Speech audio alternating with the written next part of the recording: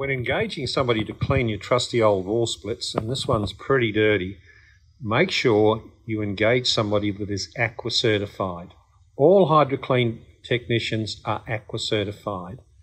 They have machines that will pump seven litres of water a minute to make sure that all of that biotoxic material is removed from the front of the coil, through the coil, and out the back of the coil, which is most important, so that your air conditioner is thoroughly cleaned when they're finished. Always use ACWWA certified technicians.